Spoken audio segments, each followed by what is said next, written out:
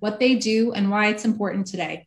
This event is co hosted by Kerem House and Israeli Politics Simplified. Kerem House is a community focused organization based in Tel Aviv. Kerem House has run 226 events prior to COVID for Israelis and internationals alike. Now, with the easing of restrictions, you can expect more in person events from Kerem House. Check out their events page for more information. Israeli Politics Simplified is a Facebook page dedicated to bringing Anglos in Israel unbiased, easy to understand information about Israeli politics.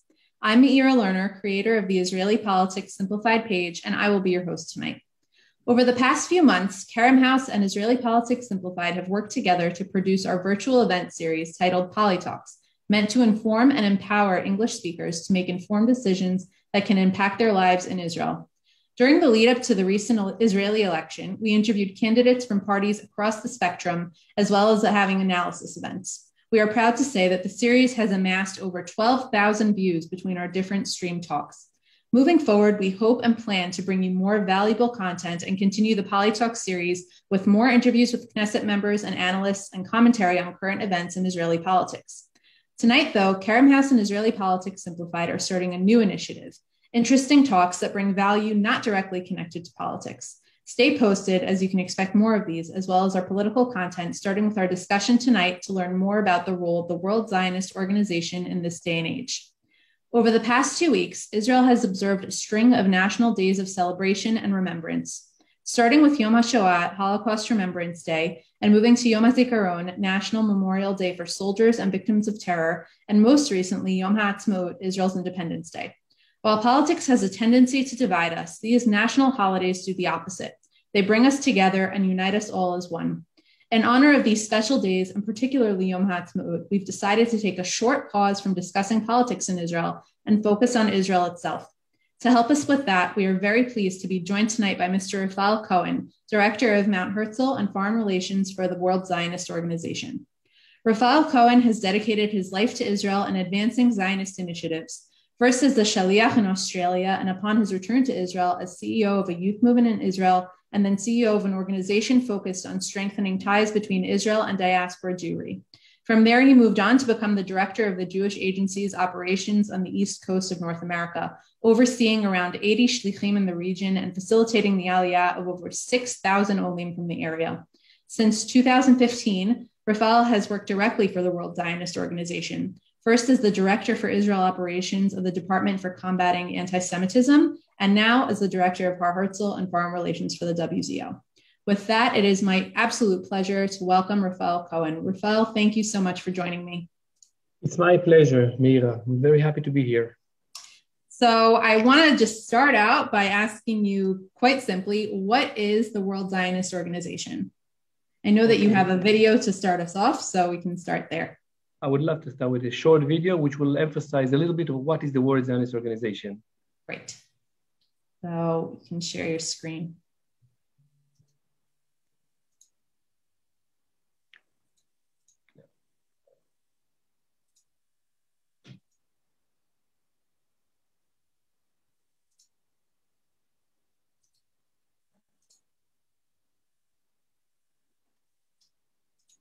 And Rafael, we don't hear the sound.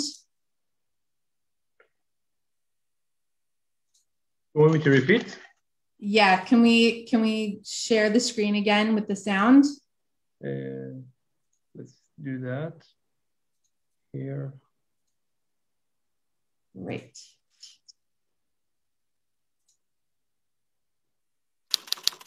There we go.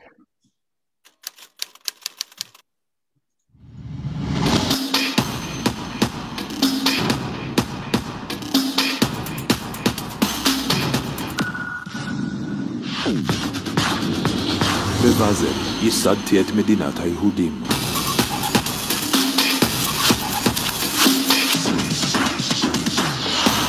United States, yes. Yugoslavia, abstain. The resolution committee for Palestine was adopted.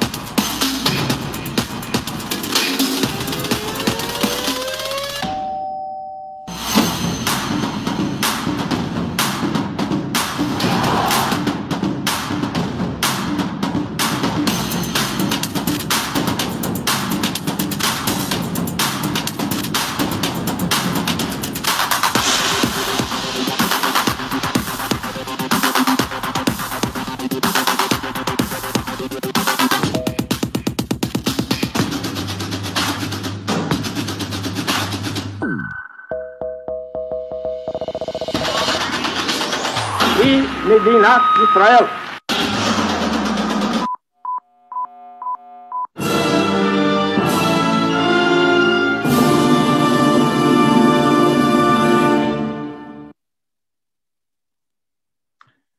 So Great. that, that was a bit of uh, a little bit about what we are doing in the World Zionist organization.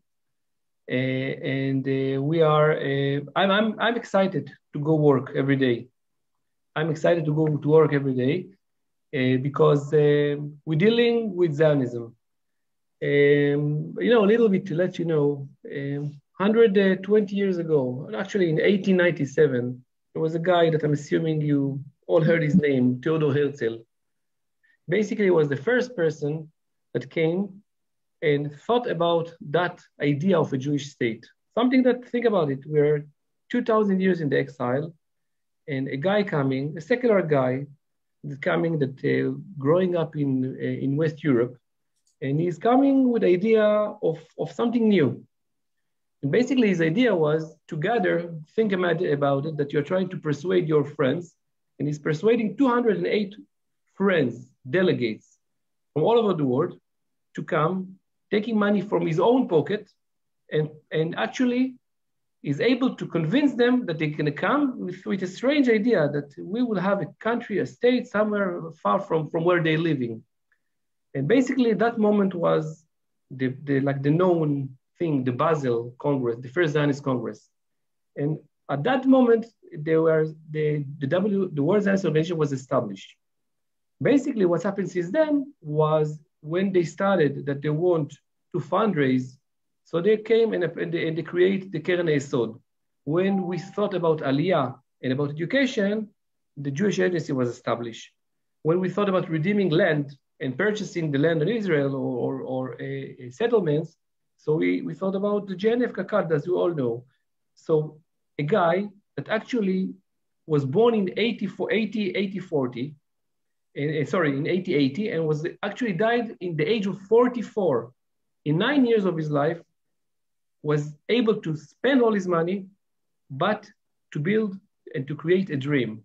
One vision, one dream.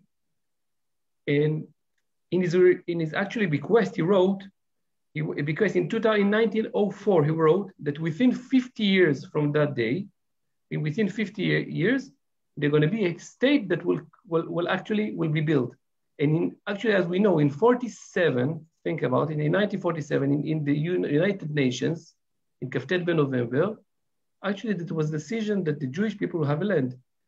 So for me, what, we, what I'm doing is actually I'm fulfilling the vision of Theodor Herzl, and I see him as the modern Moses that basically came nearly arrived to the land. He didn't reach the land. He was died in, in, in, in 1904 before Israel was established. But he brought the dream to alive, and that's what's, what I, I'm amazing about. So that's a little bit about that. So it's actually interesting that you're bringing up the history and, and that you mentioned that he predicted that within 50 years uh, that the modern state would be established. Um, but so if we're already talking about that, I, I am really curious to know, did the World Zionist Organization at that time have any real impact in the founding of the modern state of Israel? And if they did, what was their role in establishing that state? In, his wrote, Herzl was uh, at the beginning was a journalist, he was a writer. He wrote a lot. He wrote uh, uh, about a phrase called the exemplary society. Basically, in his vision in the Altneuland book, he wrote how the society should look like. So he basically uh, thought in his in his, his he, he created a very liberal uh, article about it. Uh, and his vision I have to admit that many things that he described there, we didn't reach yet. But although all that criticism, although all the conflict that we're having in the society, think about the exemplary society that we're having in Israel. I'm talking about the startup nation that you all know. Startup nation, that it's amazing, all the innovation that is, is in Israel. When we're facing today, unfortunately, the COVID-19, the pandemic, we see how Israel is dealing with, with that. And I'm, I'm, I'm taking from his vision, from history to the, to, the, to the modern state of life. I mean, Israeli the democracy that you're having in Israel, the, the rights for the minorities, the values that you're having in Israel, the, the, the shalom agreements that we are reaching the recently, four uh, uh, shalom agreements. It's, it's unbelievable. So we are having the vision, we're having the goal to reach out to that exemplary society that, that Herzl spoke. But he put the infrastructure, he put the infrastructure, the, the, the rational infrastructure for, and, and actually also how we are, where we're heading and what is the goal. Hmm. Um, so if we're speaking about how the, the beginning of the World Zionist Organization as, as Herzl was working on it in terms of, of raising money and establishing this idea of what Zionism should be and what Israel should be, what would you say is, is what makes the World Zionist Organization organization different today? What is the, the WZO's role in, in Zionism and in Israel today? The, the role of the, of, of the WZO today is, uh, is very, very, uh, like the range is very big. We're dealing with so many aspects of life, and now I can count some of them. We're facing so many challenges today uh, I'm going to give you an example. Many of the people who live in America or living outside of Israel doesn't aware that the, the population that most assimilated, for example, are the Israelis who living outside of, of Israel. Um, and to give you a number that shocked me when I heard about it, we're talking about 1 million Israelis that were wow. living in Israel and left in some stage of life and living in, in I'm talking about mainly North, North America. Uh, and for example, that's kind of challenge that they are usually secular, they're usually uh, not connected to any community congregation, they're not going to the synagogue. Uh, they have a Hebrew level good, them, but their kids, the second generation is the real challenge. So for example, we developed a department that dealing with the Israelis in the diaspora, dealing with connecting the Israelis for the connect for, for the for the for the nation, for the Am, the Am Israel, because we're losing them in a generation. Their parents are still coming and visiting. The kids is something different. And uh, you know, you have a variety of projects as uh, Garin Tzabar and a variety of projects that uh, spatially for kids, for Israeli kids, and that's how you connect them. Now, I'm just giving it as an example of, uh, of one challenge. You're having so many examples of, of, uh, of uh, challenges. So we're dealing with the fighting anti-Semitism. Unfortunately, in the last decade, every year is worse than the previous year about the numbers of, of, the, of the cases on the incidents of, of uh, this anti-Semitism. We are dealing with uh, preserving the language. Less and less people in the outside of Israel speaking Hebrew. So the WZO have hundreds of ulpanim. Uh, we are talking about connecting between the Jews and building bridge between the communities outside of Israel and Israel. Uh, uh, just to give a number that will uh, uh, emphasize it, we are having together with the Jewish Agency, nearly 2,000 shlichim, emissaries, that going usually in the summertime and going for a year, for second year, for th- three years. Uh, some of you might know them. I'm talking about uh, teachers in schools that basically nearly more than this year we send more than 200 teachers for Jewish day schools that coming speaking about Israel, about connection, about holidays, about chagim, about tradition, about any connection to Israel. We're talking about campus, what you might know as Hillel Shlichim, that working in the campuses, fighting uh, uh the BDS, uh, creating some solidarity activities with Israel. Uh, the, the, every shlichim, there is a range of shlichim and the varieties of activities, but all of them, what's in common to all of them is that their role is to make connection between the people who are living outside Israel for the people who are living inside of Israel and to make those bridges.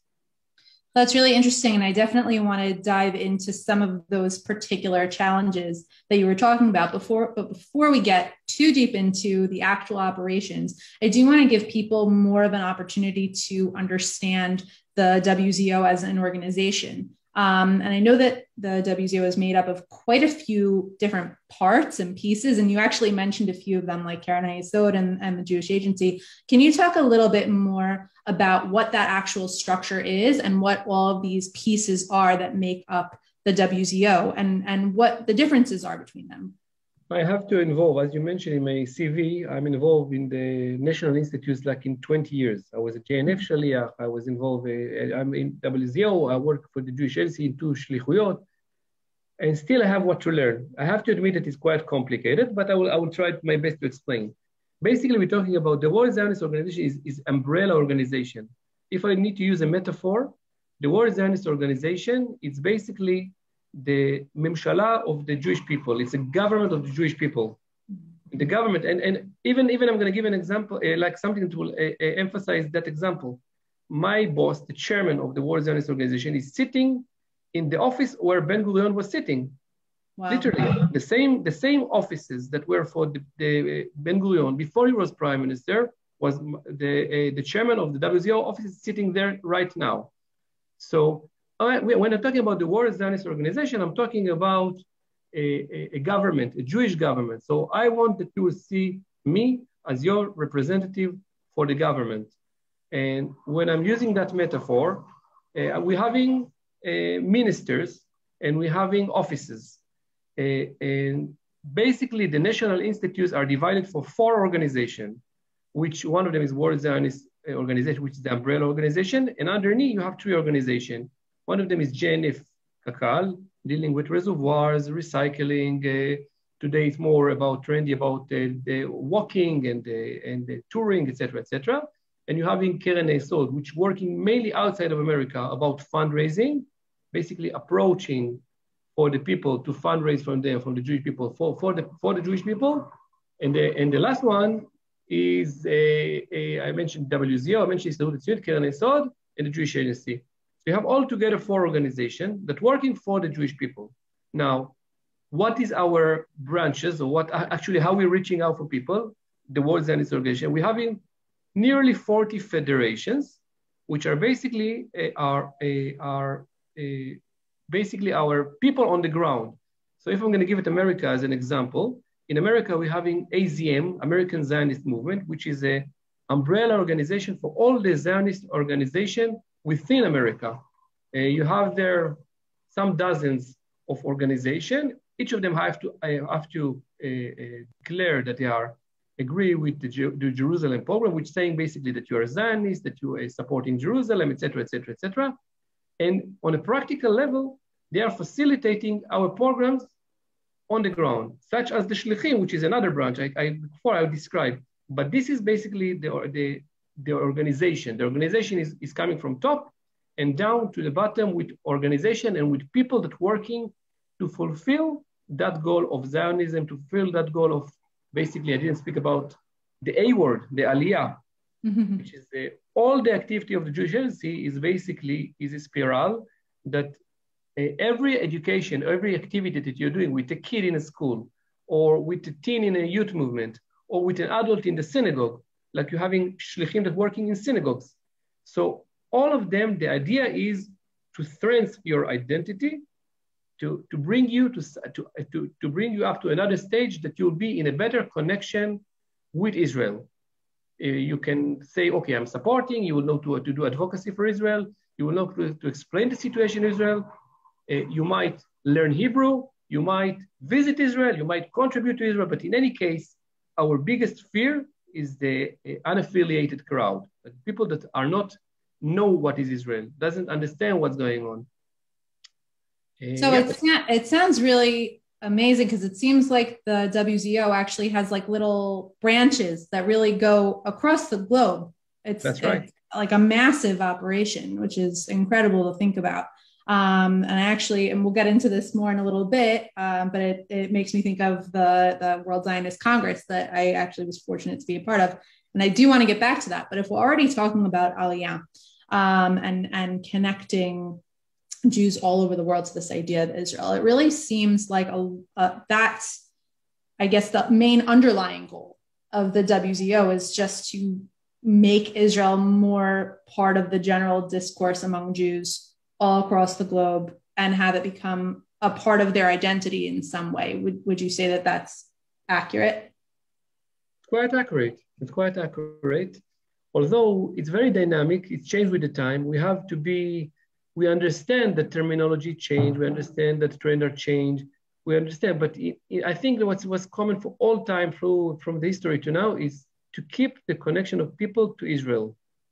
And I'm just going to give an example. You know, the shlichim, uh, if uh, there was a, a, chef that coming to visit in New York, so I remember that we took the chef and we invited all people who like uh, to, to cook, and, and you know, just to show people that Israel is a normal place, that you have here everything, and you have here normal people that not speaking 24/7 about the conflict, but living their life want to grow up their kids, want to enjoy, want to go to the swimming pool, want to ride their bicycle, want to have a normal life.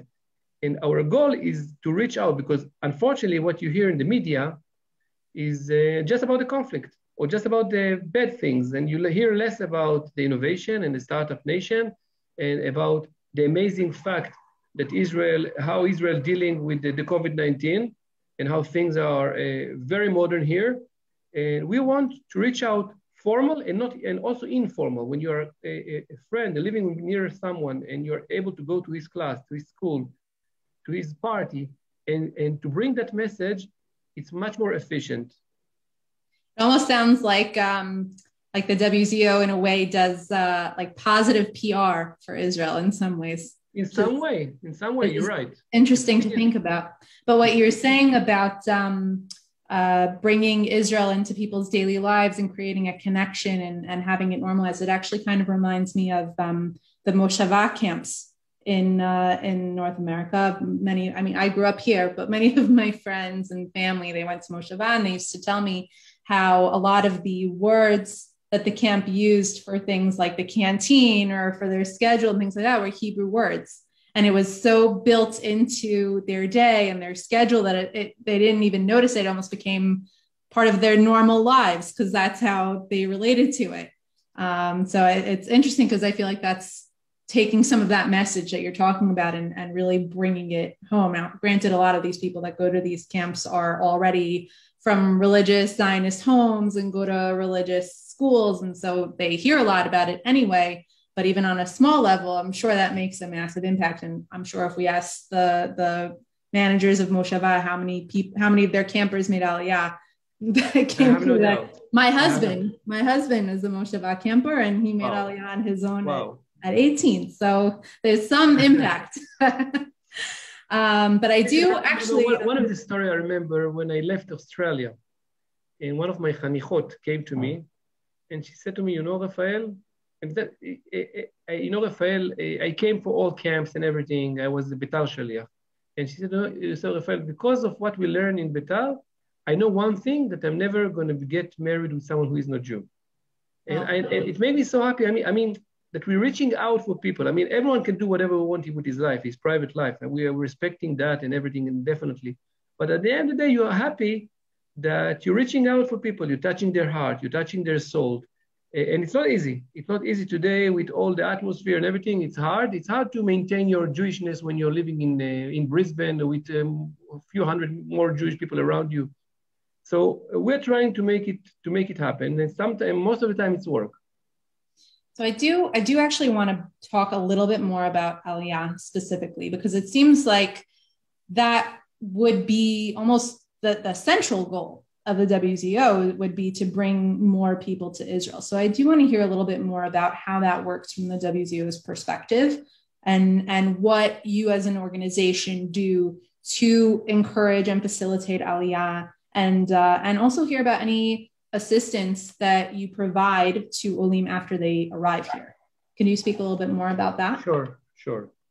Uh, I have to, to explain something for people to just to understand until 10 years ago, I think it was 2011, 2010, the Jewish Agency and the WZO were one organization. They had one chairman and one, one organization. And by the way, as I mentioned before, for people who listened before, is that uh, the main goal of the Jewish Agency was Aliyah. Now, because the World Zionist Organization and the WZO were splitting in 2000, I think it was 2011, uh, there was basically we divided the work between us we are working with promotion of Aliyah. The Jewish Agency is still there working with Aliyah. Me, myself, personally, I was Aliyah Shaliach. You mentioned that I had the privilege to bring 6,000 Olim to Israel.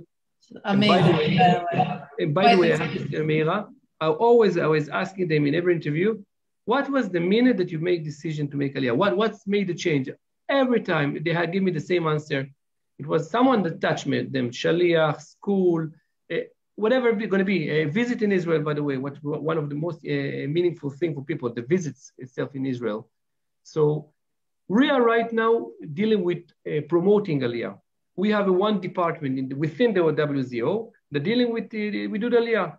So you're having Aliyah fair, you're having Aliyah fair, and you're having Ulpanim. And I'm going to give an example that every Ole that willing to make Aliyah is eligible to get Ulpan. I don't, don't remember the exact hours as he is eligible to, but he's getting, uh, he's eligible to learn Hebrew because we believe that if you learn Hebrew before you're coming, it's something that's very, very important. And what we realize from all our research, that people have to have the language, people have to, uh, uh, uh, and they have to find a job. Those are big, you know it as Ola Hadasha previously. This is big. Well, big I, I, was young. I was 13. You're right, but your, your parents, your parents, I mean, I'm assuming that Stephanie will tell us that uh, she faced it. sure. Uh, and it's, it's hard. It's hard to, uh, because Israel is a very warm place. People will gather you, will help you, will approach you. But at the end of the day, you have to understand the language. You have to understand the mentality, which is much more, uh, much more harder. And we are in the WZO, we are doing uh, Aliyah fairs, for example. So in the Aliyah fairs, you're getting the whole relevant information. Now, regarding to what's happening after you arriving to Israel, that's a little bit different because the mandate of working with Olim or working with Olim that arriving is basically uh, belong to Misrad Klita. Uh, uh, and they, they are dealing, they give, they're allocating you the money and everything.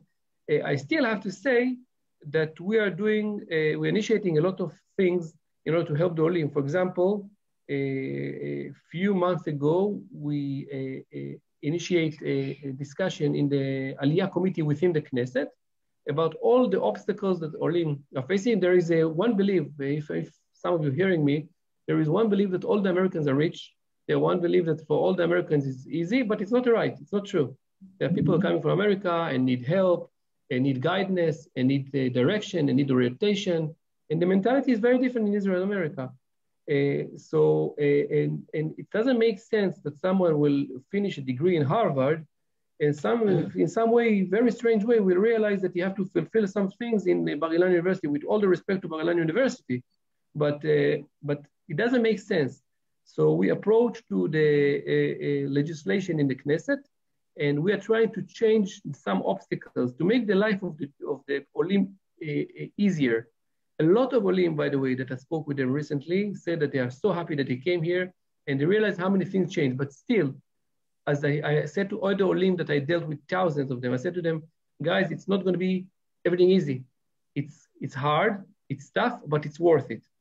So at the end of the day, we're trying, uh, not allocating a lot of money because that's not our authority, but we're trying to help them with the language, with some uh, kind of professional development, with orientation, uh, uh, working very closely with Nefesh Benefesh, uh, with the Mankal and with the CEO and everyone. we're trying really, really, really hard to help each of them. I promise you that no one, everyone that will come to Israel, we're going to try to help. We cannot help everyone, but we're going to try for sure. Um, it's it's interesting that you mentioned that you work with Nefesh Benefesh. I was going to ask if there's any cooperation there because they've kind of taken uh, the whole Aliyah enterprise, so to speak, and in just, America. You know, in, in America for sure. Um, is there is there as much? I mean, I, I'm originally American, so my connection is more there, um, and I know how much work certainly Nefesh Benefesh does and other organizations do to promote Aliyah. I am curious about who kind of takes on that role in other countries like Europe in other countries of Europe and, and South America and, and uh, South Africa, all these other countries where there, there are Jews. Um, who's kind of taking on that uh, role of, of pushing forward this idea of Aliyah in those places? Again, I, I, when you're saying uh, the role and the position and the, and the role of, for example, for, uh, the, the, the, case which I'm familiar more with in North America with uh, Nefesh Benefesh, so there was agreement between Nefesh Benefesh Jewish Agency how to divide the work. Basically, I'm, I'm, I'm describing it as a pipe that when Ole is coming, he have, first of all, probably you're going to hear about Aliyah probably from Nefesh Benefesh because the Nefesh Benefesh Aliyah is the, of, of all the marketing. So you're gonna you're gonna find the leaflet in the in the synagogue, in the shul, or you're gonna hear about someone talk. But we're working so well together that also I remember in my shlichut they were inviting me to come to speak about that or about other things. So we're working well because it's it's it's a good cause, and at the end of the day, it's a win-win situation for both of the organization. When you're arriving to reach to the eligibility uh, and the benefits that the Ole might get, uh, you're dealing with the Jewish agency emissary. So it's working in some stage that you have to get to the pipe at the beginning with the, probably you're going to get in with Nefesh Benefesh, and then you're going to get you're going to get the whole services from the Jewish agency, and he even will invite you the ticket for the flight, and at the end, at the end you're going to finish the, the Aliyah with the Aliyah flight with Nefesh Benefesh. So it's working like it's two hands working together. In every in other places uh, in uh, other places in the world, there is some local organization which are kind of rational of the of the nefesh benefesh, but I have to say that the numbers are different. We're talking about uh, sometimes, you know, rather than France, that you're having a big amount of olim, you don't have too many places that you have thousands of thousands. So I do know, for example, that in Australia, you're dealing like the ratio of the olim from Australia is the highest in the world, but it's very small population. So we're talking about hundreds a year. Still, it's, it's a high ratio. Uh, so there is a local organization. I don't remember. I don't remember his name, but they're helping to the Olim. But at the end of the day, for all of the Olim who help is, is the uh, Misradim, the government in Israel. That's the main people. And by the way, which if someone considering Aliyah, if someone thinking about someone that know to make Aliyah, you have to be aware for your uh, uh, rights because a lot of things Olim doesn't know. They doesn't know that they're eligible to get discount in the arnona, in the tax that you have to pay for the municipality in the first four or five years. Many, many things. So I, I, I if you want to make Aliyah, you have to be Israeli. You have to be Israeli, you have to be rude a little bit, to ask questions, to, to push a little bit, because if you're not, you're not going to hear about it. So that's, uh, that's the deal. That's part of the, deal, of, of the deal of Israel. Listen, you have to completely immerse yourself. You can't stand on the sidelines. You want to be Israeli, you gotta jump right in and do it. I remember that a nice woman in Australia told me that if you are standing on the line in America, she came from England, and she said to me, I realized that if you're standing in the line in Israel, you're going backward. So, uh, okay, I know you're if you doing it wrong. You can't stand on the lines. You gotta jump over. and don't take no for an answer. You can always get a yes. I remember that I was teaching my Olim that even if you coming to the bank, you have to negotiate about the rate that you're getting. You're going to go to Bank Leumi and you're going to negotiate. You're going to go to Bank Discount, they might offer you something better. That's part of the of being Jewish. Of it's all here.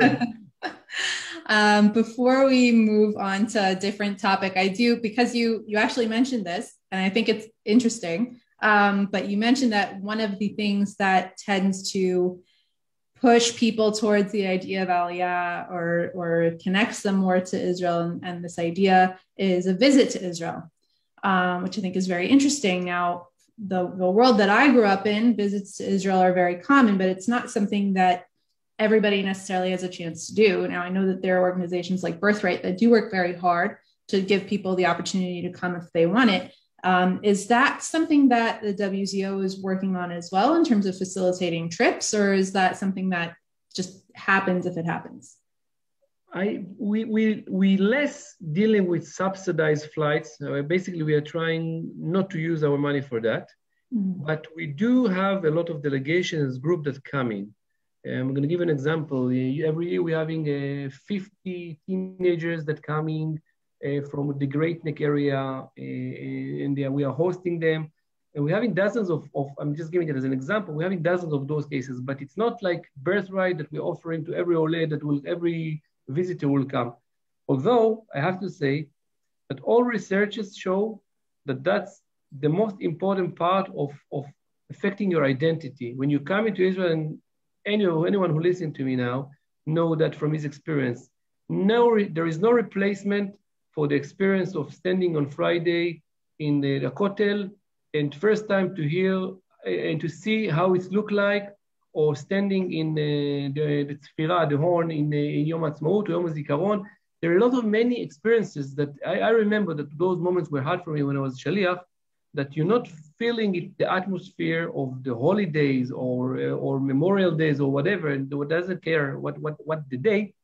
But when you come into Israel, it's, it's all around you and it's starting also for the most rational people to start to think about where I'm coming from, where I'm going to, what I want to achieve in my life. Those big questions that helping to uh, to create your identity, and that's something. So unfortunately, we're not doing too much. We're doing a lot of things, but we're not uh, doing. We're not having any kind of fund for people uh, to come. But uh, but rather than that, we're involved in a lot of delegations. Mm-hmm. Um, so I do want to move back a little bit. Move back. We're move back a little bit um, because we brought up and I brought up uh, the World Zionist Congress. And for people that don't know, you certainly mentioned this in the beginning. Um, the World Zionist Organization was kind of born out of the very first World Zionist Congress.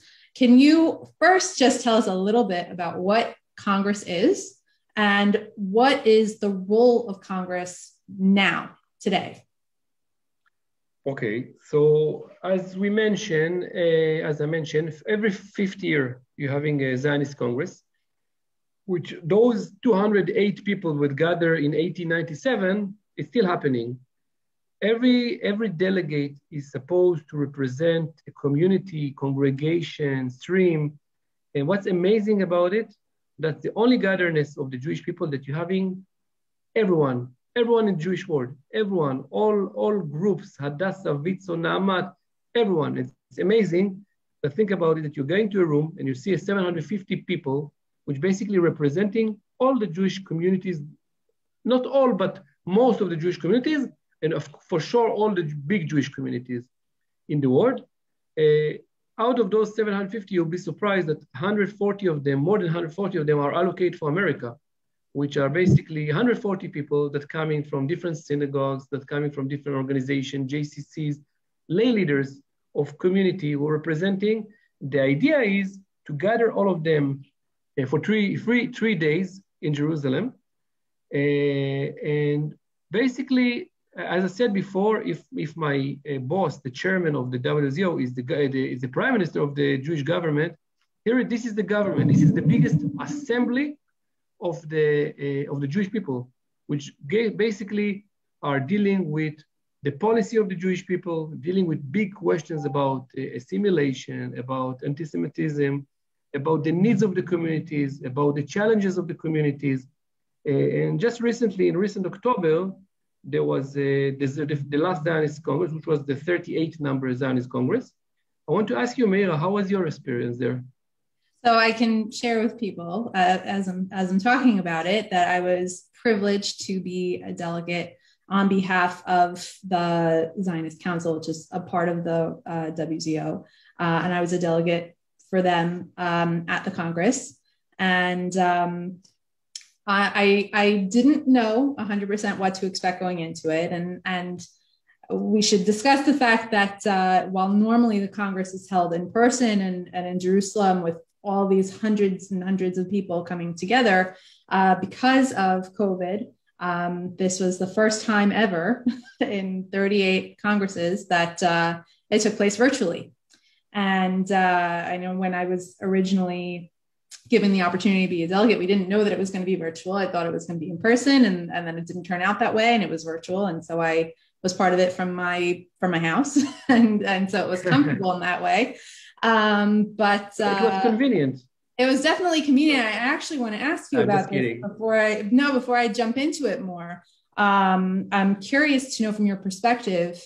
Uh, while there definitely is something to be said for doing it in person, and, there's certainly massive value to people coming together and and connecting with each other and, and networking and and working together in person. I am curious if you felt that there were any specific positives to doing it virtually. My my initial thought would be that uh, it gave people the opportunity who weren't necessarily delegates to actually be a part of it in some way, which I think uh, is incredible. So I would be very curious to know if going forward, I hope that we do go back to being in person, but if there will continue to be some virtual element, uh, and, and I'll give you a chance to respond to that, but just to go back to my own experience um, it was you know, as I said, I, I grew up here. Really, I, I made Aliyah from Teaneck, New Jersey, which is you know Jew land in in America. For people who don't know, I was 13 years old, and so I, I've really grown up here. I've lived most of my life here in Israel, and uh, being part of the Congress was really the first time that I was exposed to Jews from all over, from all over the world, from all different backgrounds and and professions and ages, and and yet all of them were there for one purpose. And while we might have had different ideas of, you know, certain values or, you know, outcomes that we might want and things like that, but but the sole purpose for all these hundreds of people coming together was to talk about Israel and Zionism and that was in a, as somebody i consider myself to be very zionistic and you know i come from a very zionistic family and it's something that's been you know drilled into me my whole life. But that was incredibly powerful and inspirational um, just to be a part of that and to see what an impact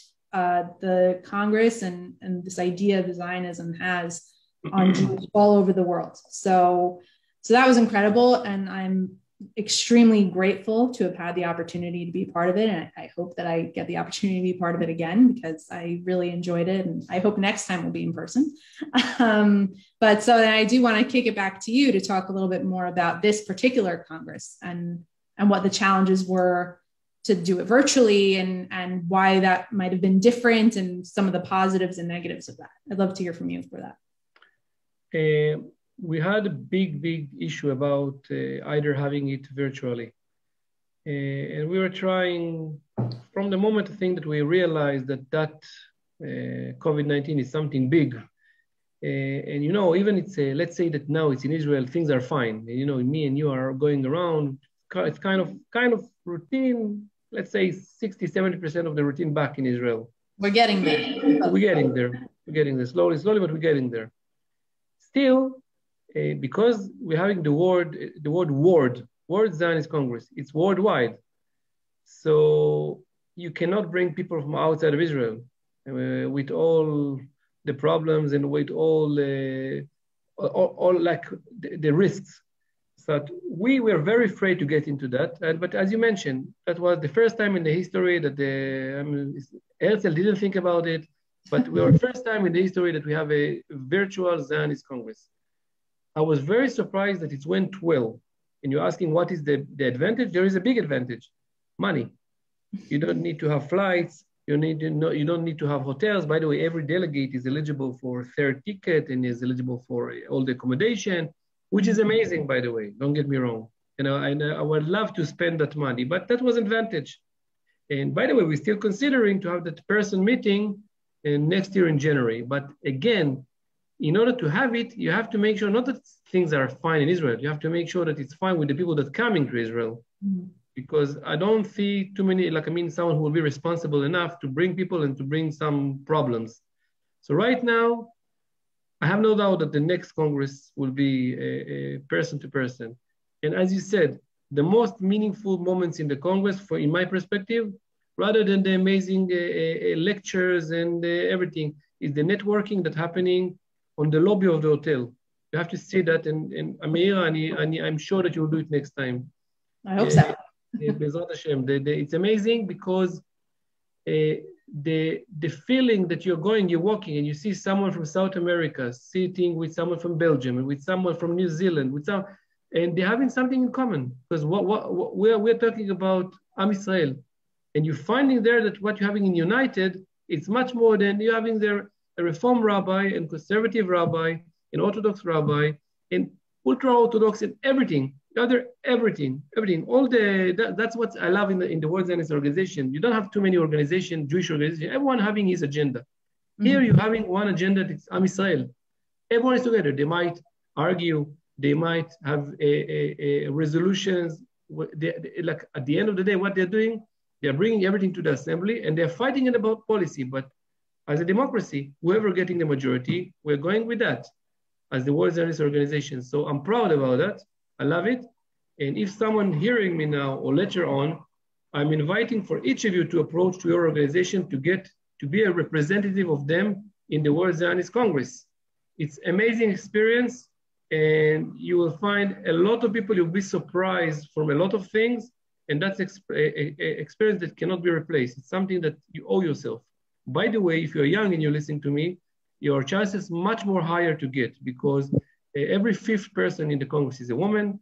Every uh, every uh, every third, sorry, every fourth person you have to be under 35.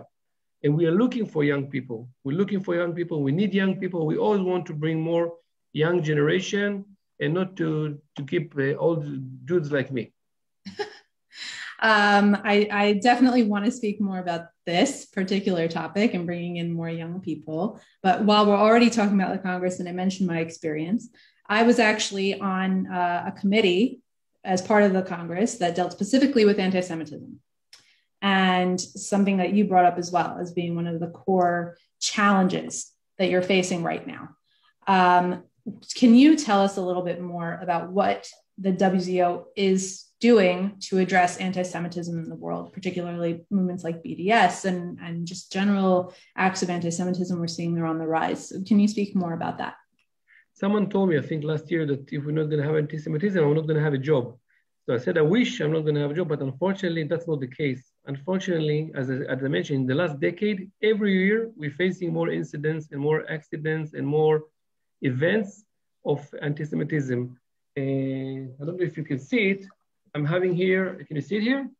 Uh, just a little bit of the top. a little bit. It? It's basically a research that we have done last year about uh, anti-Semitism. There was a survey that we have done in the social media, and more than 700 young adult people uh, uh, uh basically uh, answered that survey. And it, I was amazed to see the numbers about how many people faced anti-Semitic incident how many people uh, uh, basically uh, so violent with regarding that. So many, it's happening more. And you know, when I when I was in, in America, I started to see some things that that I don't know if all of us are noticing. Or my, I'm going to give you an example. I do know that it's very trendy now when you're going to Starbucks to have your coffee. Many people using a different name, not their Jew name. Sometimes because it's easy to pronounce it, but sometimes because they prefer not to identify as a Jew. So I'm just wondering and asking yourself if, if you face that. A, a, something that I was amazed also that when you're writing in Google, uh, what is a Jew, uh, in different countries, you're going to get different results. And when you're doing it, for example, in China, and we have tried that, so the, the, the first thing that will come to your Google search will be the 10 anti-Semitic, anti-Semitic web, websites, which is amazing. Uh, uh, and the people in France that decided that the mezuzah shouldn't be outside of the house, but they started to put it in Paris uh, inside the house, the mezuzah in the intel, in, in the in, inside. so what what is worrying me is that the number and the high of the anti-Semitism now is very close to the data that we saw in, 19, in 1939 before World War II. It's amazing, we're reaching out to their very, very close. And when we spoke about it a few years ago, people were saying that we are crazy, but and, and everyone who's dealing with that starting to see that we're not feeling convenient about it, but this is the reality and this is the fact. And unfortunately, we're having anti-Semitism from right, which is the classical uh, uh, classical anti-Semitism that we know from the Nazism and the, the, history, unfortunately, from the history. But we're also facing uh, anti-Semitism from the left, Uh, from a, a far left-wing uh, organization that sometimes hiding behind uh, civil rights. Uh, and I would say that there is a very, very narrow border between uh, legitimacy about how you can criticize that. You can criticize Israel. It's fine to criticize Israel. But sometimes it's not really criticized and, and, and it's anti-Semitism. And that's where we are, our expertise to find those ways. It's interesting that you bring that up, though. Before you continue, uh, there's there's definitely a trend going on now where where people are disassociating anti-Semitism and Israel. They're saying that anti-Zionism and anti-Israel That's is right. not anti-Semitism, and and this has become a real problem. I think um, that that I know people are, are really trying to come out and, and stand up against. That there's no difference.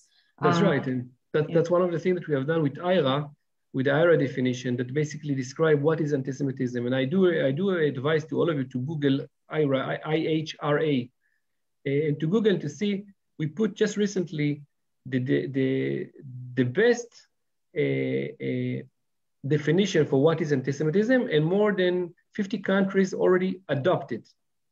Mm-hmm. And, and our role is also to raise awareness for those kind of things. Because when you know what is it, you know how to prevent it, you know how to deal with it, you know what to do.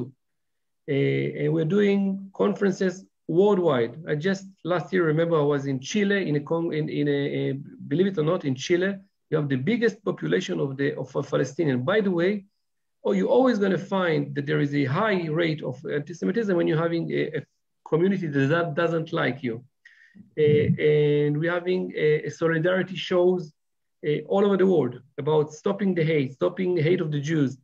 Uh, we're trying to give to the communities as many tools as possible, even if it's security tools, just uh, to bring people from security to put cameras in the synagogue, to strengthen the communities, to support them. Unfortunately, Israel is very expert with dealing with crises. We see that in the corona, we see that many times in the history, and, and some of the communities are in crisis about that, about dealing with anti-Semitism. Now, uh, we are trying, and I'll give an example that's very close to you. We are now speaking on Facebook Live. Uh, we brought to the Knesset the, uh, the chairman of, I don't know if it was chairman, it was the president of Facebook, the president of Instagram, and the president of Twitter, like the, the highest rank of, the, of those three social media to the Knesset for a discussion because what's going on is that it's very hard to supervise what's having, happening there, the content. And by the way, we succeed very well with that because uh, uh, we reach out for uh, Instagram and we gave them hundreds of words that might be a, a, a violent, that might be anti-Semitic, anti-Semitic, and they got it. And they uh, actually guide their people who are supervising that when they see those words, they will, they will actually drop the post. Wow. So there is what to do. By the way, I do want from you, I want your involvement. Like I, I want your involvement because when you're letting us know, when you see something and you do a screenshot and you're sharing it with us, we're able to touch it. We're having a group of students that are doing monitoring of, of things in the social media. Today, by the way, this mainly the corona time, everyone is in house, everyone in their computers. That's the field. That's the field. And that's where we're having the fight. That's where we're having the challenge. And we need each eyes of you and each hand of you because we all we are all having the same the same problem.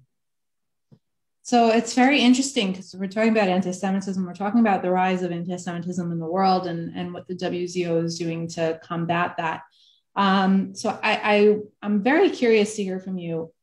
As far as the wzo's main impact and where they're serving the, the largest number of, of jews would you say that the work of the WZO is more important or more impactful to diaspora Jews? Or is there also a role that the WZO plays in Israel with Israelis themselves? Because it seems like there's a lot of work that's focused on, on Aliyah and anti Semitism, things like that. Those are very diaspora focused issues in many ways. So I'm curious if there is an overlap or, or some way that there, there's you know issues of Zionism and and things like that to be addressed in Israel as well?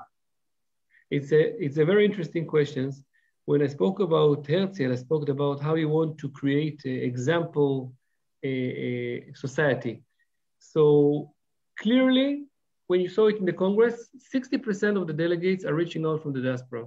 60%, and, and, and that's how we divide. 40% are coming from Israel, which means by, by definition that our focus is on, on outside of Israel. The main goal is to deal with the, there, I believe, by the way, that there are big challenges both in Israel and both outside of Israel, both in Israel and both in the, in, in, in the diaspora. Uh, so challenges are very different, very different, uh, but it's appear both in both sides. So if the, for example, the assimilation is a very big thing in, the, in America or outside of Israel, it's less relevant in Israel. It's, there is assimilation, but it's very, very, very low and very minor. Uh, but that's what's that's why we're focused about those aspects in the diaspora, while we, we do work We do work with a lot of projects uh, in the Israel because we know there is ignorance in Israel society. People doesn't know about history of the of the, of the Jewish identity. Uh, people really, really, we, we need to educate people we, everywhere. People need to know where they came from. And we're going to give an example. We're having a, a, a Brit Damim. Brit Damim is like uh, we're having a, a partnership with the Druze project, a big project that we are doing with them. It's in the Israeli society, but we do believe this is our part of our shlichut.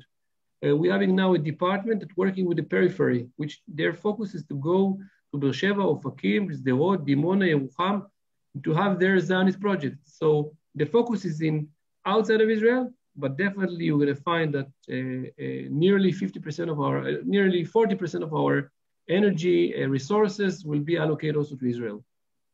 That's really interesting. Um, but I do actually want to bring this back now to the topic that we were discussing before, which was uh, the younger generation and uh, and getting the younger generation involved.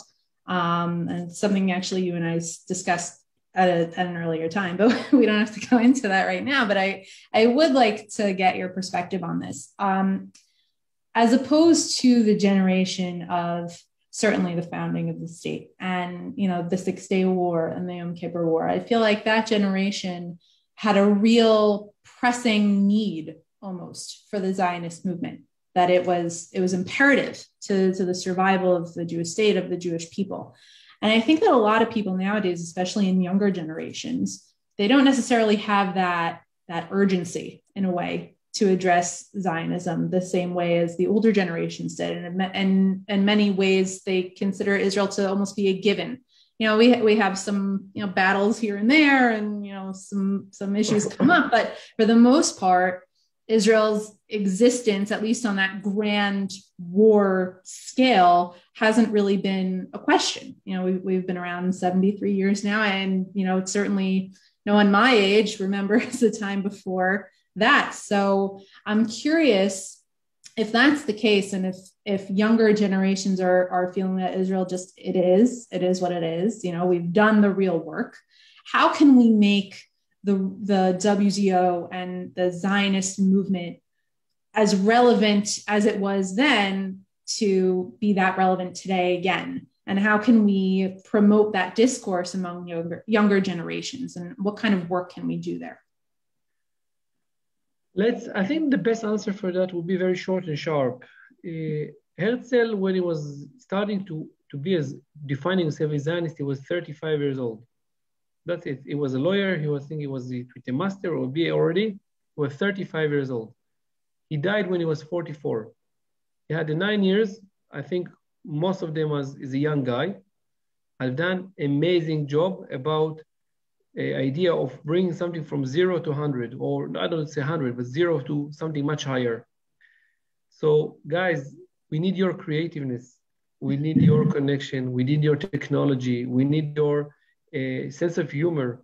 We need your approach. We need all of you. Israel is a miracle.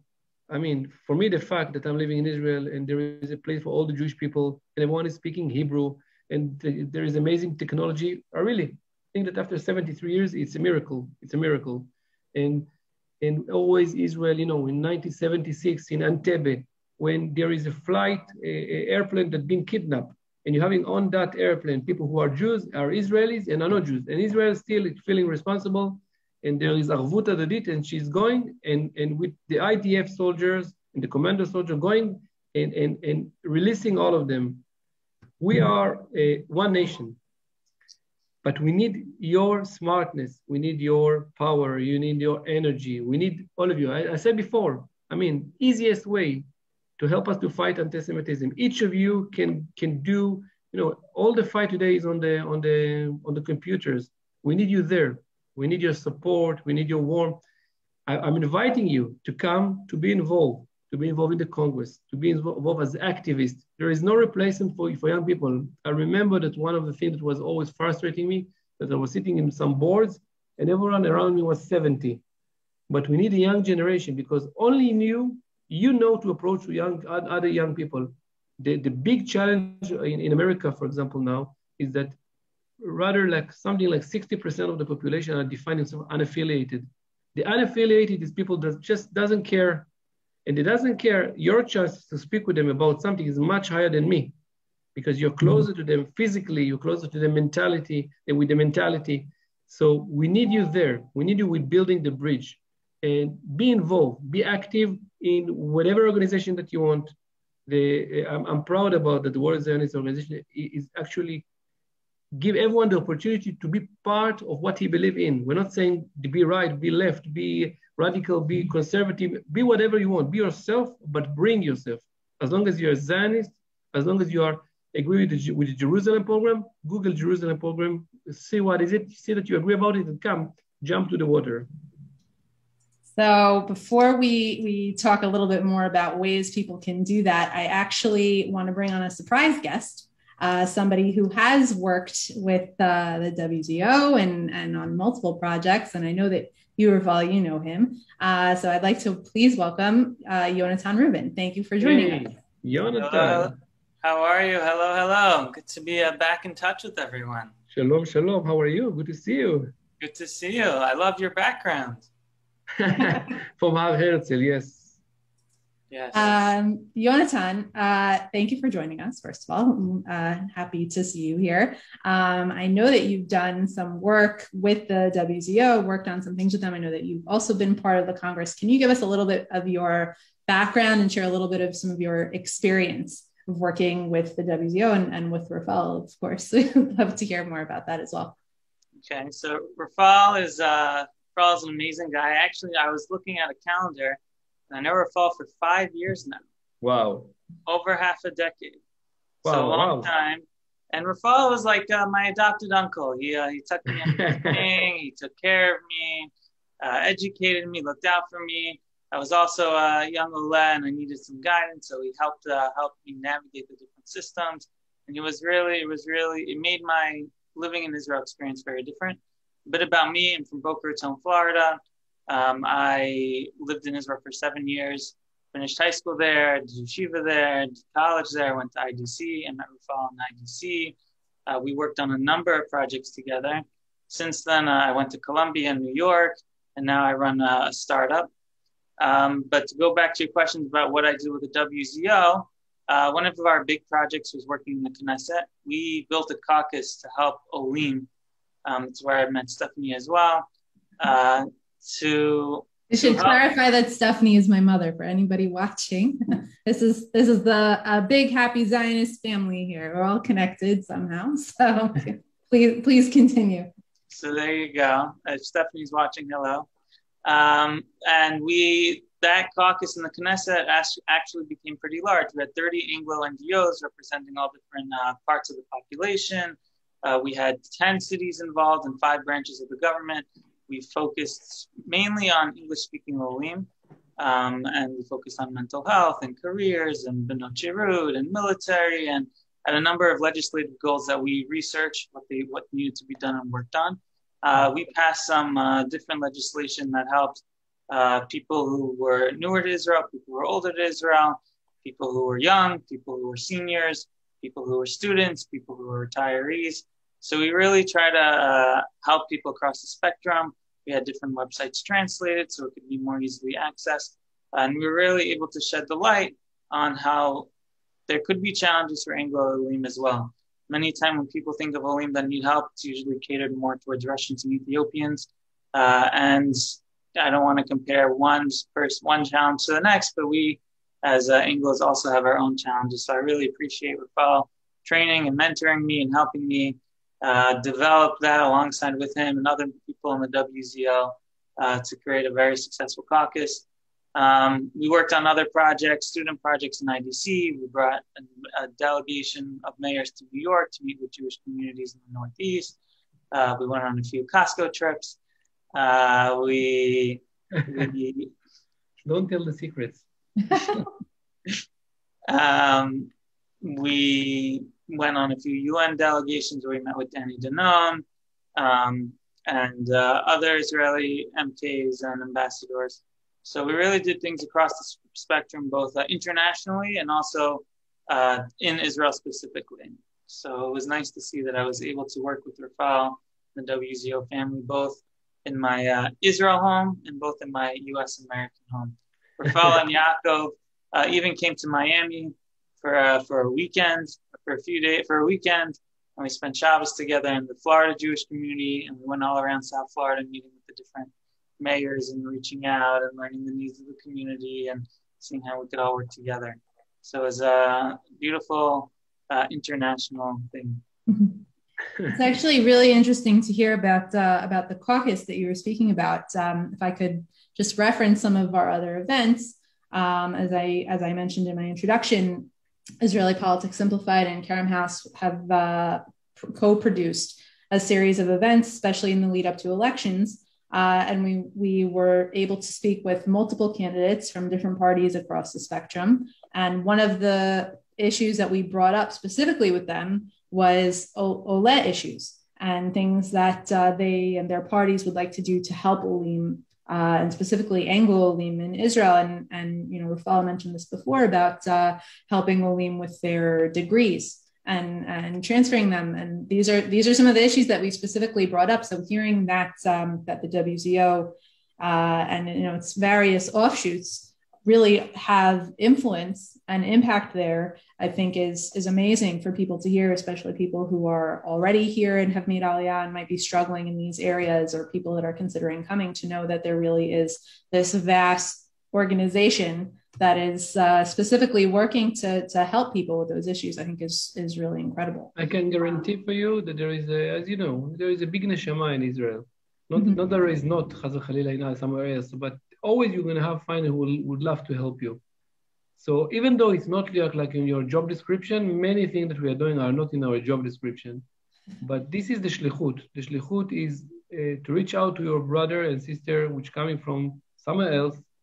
And you know, as our parents have done it, uh, in your case, uh, Meira, a little bit less. In my case, it's like 50 years ago, 60 years ago, and to reach out for them and to help them and it, it's not it doesn't matter it doesn't matter. I mean i'm working in wzo but uh, our people are willing to help. People willing to help people willing i, I believe people see the people coming from the diaspora as their brothers and sisters we are I'm, I'm, repeating that again and again. We are one nation we are amichad and we have to bear that in our mind. We're always dealing in israel about what is making us difference but we always i want to work out about what's making us one nation um, Yonatan, I'd, I'd love to also hear from you. We talked a little bit about the Congress, and I shared a little bit about my experience being a delegate and uh, the Congress in October. I know that you were a part of uh, Congress, uh, the last one before that. Um, I'd love to hear about your experience as well, and and how you felt about that, and uh, and what you took away from that experience. So uh, it was overall it was a good experience uh, I would say that I share the opinion of you that it was very uh, a time where I got to meet many other Jews who I never would have otherwise met uh, and share. You know, we might disagree politically and religiously and every other lead, but we come together and uh, we all care about the same thing. We care about Israel, and it gives us a lot of common ground. And I think that's a beautiful thing. I think those who are on the younger end, I was doing it when I was uh, in college uh, or in graduate school and were able to be involved. It was it was very enlightening, and we got to see uh, angles or parts of the Jewish people that never would have otherwise been exposed to, both in just living as an American and in our specific community bubbles, but also in the larger Jewish picture. And uh, it definitely enlightened me on how diverse, not just on paper, but in practice, the Jewish people is, and uh, how everyone celebrates their Judaism and comes together to celebrate all that we have in common. That's great. Thank you. Um, so if I have both of you on that, and I know Jonathan, you you got involved in the WZO when you were a little bit younger, and we spoke just recent just now about uh, about young people being more involved and um, and and being part of the WZO. How can people who aren't necessarily WZO members, people who aren't part of federations or, or organizations around the world that are specifically connected to the WZO? how can they join in this movement in a meaningful way? Um, what, what are some other ways that they can get involved? I would say uh, send an email or phone call to Rafal and uh, organize an event. Uh, I remember Rafal came, I think one of the first events we worked on together was bringing uh, my classmates from IDC and Herzliya up to Jerusalem Rafal said, You need a bus? Here's a bus. Get 50 of your friends. We're going to bring them to Jerusalem. Uh, this was in an international school, so most of these people, they've never been to Jerusalem. Uh, and for them, you know, their whole experience, the whole reason they chose to do school in Israel was to be part of the Jewish uh, environment, Zionist environment that they heard about in the South American communities and the European communities. But living in uh, Herzliya, they never they never got that experience. So Rafal said, "Okay, we'll pay for for a bus, we paid for a tour guide, and uh, we gave them a grade. Uh, anyone who wanted to come, it was free." and uh, we showed them around. We brought them to the Kotel. We brought them to a few other historic uh, places, and uh, everyone got involved. And many people were involved in later events that we did as well. So.